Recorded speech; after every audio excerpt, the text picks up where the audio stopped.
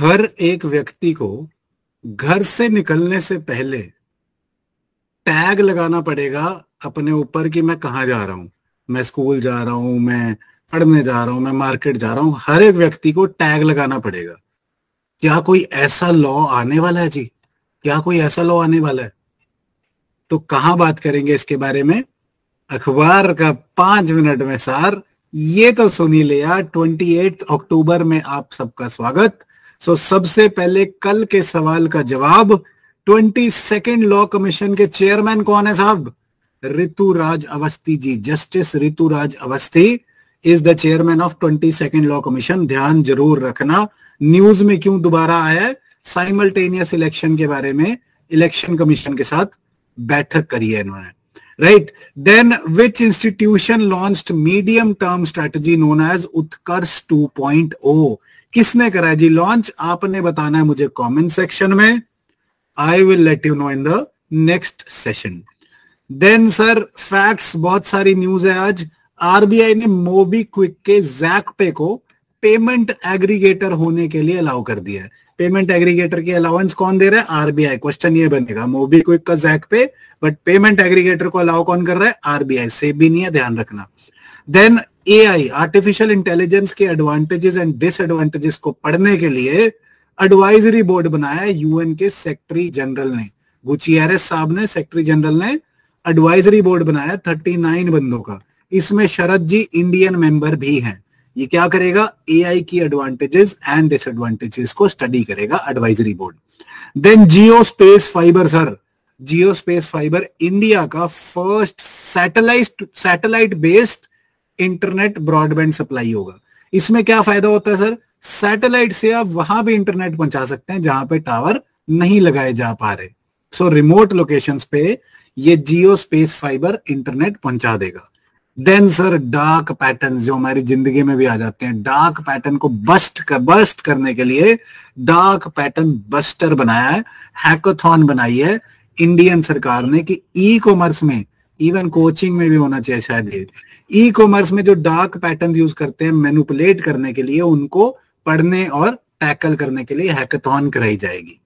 Right then Mike Johnson Mike Tyson नहीं Mike Johnson अब होंगे सर यूएस के स्पीकर जो स्पीकर हटा दिए गए थे, उनकी जगह माइक जॉनसन ने ले लिए देन सर शौर्य दिवस की बात करना तो बहुत ही खुशी की बात है कि इंडियन सोल्जर्स इस दिन कश्मीर में लैंड करे थे उन्नीस में और तब इन्होंने पाकिस्तानी फोर्सेस को वहाँ से भगा छोड़ा था खदेड़ छोड़ा था। सो this was Shaurya Diwas when Indian soldiers landed in Kashmir then sir editorial जो बात कर रहे थे टैग लगा के घूमना पड़ेगा ऐसा शायद व्हाट्सएप के लिए न्यूज़ में आ रहा है। सो so, व्हाट्सएप पे एंड टू एंड इंक्रिप्शन होती है। इसका मतलब कि आप अपने लत से बॉयफ्रेंड गर्लफ्रेंड या भाई, बहन, जिसको भी मैसेज भेज रहे हैं, वो टोटली इंक्रिप्टेड है। वो सिर्फ़ आप और जिसको भेजा है, वो पढ़ सकते हैं। बाकियों के लिए वो एक तरह से रीडेबल नहीं है। बट क्राइम होने लायक, जैसे कि भाई दंगे हो रहे हैं या कोई टेररिस्ट आपस में बात कर रहे हैं तो उनके मैसेजेस पढ़ने के लिए सरकार ने कहा है कि व्हाट्सएप और ऐसे इंटरमीडिएरीज बताएँ कि कहाँ से ये मैसेज शुरू हुआ था, किसने शुरू करा था ट्रेसिंग ओरिजिन तो इसको क्या प्रॉब्लम्स बताई जा रही हैं कि फ़र्स्ट ओरिजिनेटर एक तो डिफाइंड नहीं है।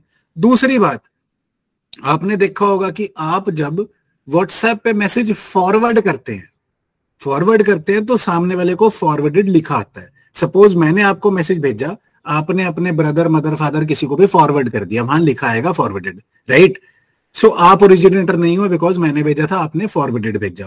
देन सेकेंड थिंग क्या होगा जी? सेकेंड आइडिया क्या है? आप फॉरवर्डिंग ना यूज़ करते हुए मेरे मैसेज को कॉपी करें एंड जिसको भेज रहे भाई बहन को उसमें पेस्ट करके भेज दें। सो so, क्या अब आप ओरिजिनेटर हो गए? बिकॉज़ आपने फॉरवर्डिंग नहीं यूज़ करा। सो so, आर्टिकल लिखने वाले मैडम बोलते हैं कि इतनी सारी टेक्निकलिटीज में क्या होगा? अनसस्पेक्टिंग आम आदमी फंस जाएगा और जो एक्सपर्ट होगा वो हर जगह फॉरवर्डेड यूज़ करके बच जाएगा। एक तो ये प्रॉब्लम अदर इश्यूज़ जी काफ़ी सारी चीज़ें अनडिफाइंड है कि कब सरकार मैसेजेस बढ़ा सकती है ओरिजिनेटर ढूंढ सकती है जैसे कि पब्लिक ऑर्डर वायलेट हो। पब्लिक ऑर्डर कहीं भी डिफाइंड नहीं है सो so, ऐसी चीज़ों का मिसयूज हो सकता है। एंड फुटप्रिंट रेवोल्यूशन रूल जो ये ओरिजिनेटर का रूल है सर कि कहाँ से आ रहा है ये राइट टू प्रिवेसी जो एक फंडामेंटल राइट है उसको बहुत बहुत गंदे से इन्फ्रिंज कर देगा सर सो so, बहुत सारे इश्यूज़ है ओरिजिनेटर रूल में ध्यान रखना किससे रिलेटेड है। तो हम ये कहना चाहते हैं we therefore may be only one step away from opening the flood gates of message traceability और मैसेजिंग एप्स का काम भी बंद हो जाए शायद और प्रिवेसी तो खत्म हो ही जाएगी। इसलिए हम कह रहे हैं कि शायद the ill has surpassed the remedy has surpassed the ill यही आज का कीवर्ड है सर कि रेमेडी कब इल कोई सरपास कर जाती है। लेट से आपको कोई बीमारी होगी लेट से बुखार हो गया फीवर अब आप इलाज करने गए, आपको थोड़ा सा सिर दुख रहा था, वहाँ कोई बाबा बैठा था, वो बाबा तांत्रिक ने आपको 500 कोड़े मार दिए। बोल रहा भाई साहब, इतना तो मेरे सिर में नहीं दर्द था, आपने मुझे इतना मार दिया। तो ये कोई इलाज थोड़ी हुआ, ये तो आपने बीमारी से भी गंदी चीज़ कर दी। That is remedy surpassing the ill और ये यहाँ पे कीवर्ड में क्यों यूज़ है? बिकॉज़ ई गवर्नेंस में बहुत बड़ी ऐसा हो रहा है। जैसे व्हाट्सएप ओरिजिनेटिंग रूल में भी हुआ है हो सकता है right so you can use this in e governance and essays please keep on noting down this keywords बहुत काम आने वाले हैं बहुत नंबर आने वाले हैं और हम साथ में लबसना जाने वाले हैं। सो so, अखबार का पाँच मिनट में सार ये तो सुनी ले यार। जय हिंद।